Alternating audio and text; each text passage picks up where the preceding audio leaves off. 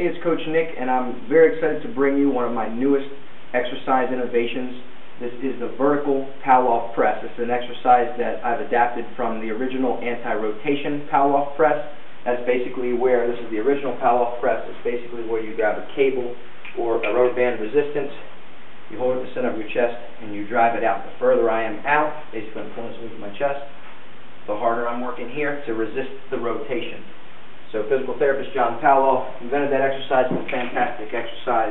What I've done is taken it and made it triplanar. So now we have a vertical version and a lateral version. In this video, I'm going to show you the vertical version. Think about this as an upright abdominal rollout with like the old wheel or the, Swiss ball. Check this out. You grab a rope.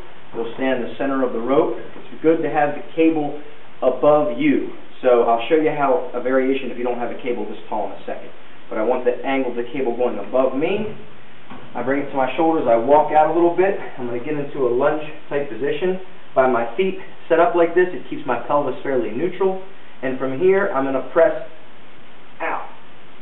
Hold for a few seconds, you can see me shaking a little bit, and bring it back down.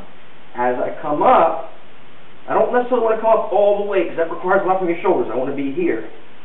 And what's happening is the resistance of the cable is pulling me into extension. So it's pulling me like this.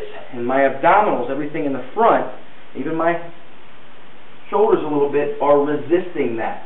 So here it's really tough because the lever arm is long.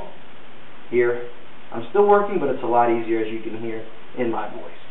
So this is the vertical Pallof press. This is a progression to a roll-up. Obviously, if I'm in a staggered stance, I want to do both sides and I'm making sure that nothing is moving. So if I see this happening, the weight is uh, too heavy for me to control.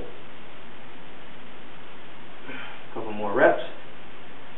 Hold for a few. Back down. So you see I'm going at an angle. You will get a little tricep here, but make sure I'm not doing a tricep press. You see I'm here. It's more like an incline press. And believe me, I can feel it already. If that doesn't get your abdominals, you don't have abdominals the vertical Pallof press. In the next video, I'm going to show you how to do the lateral Pallof press.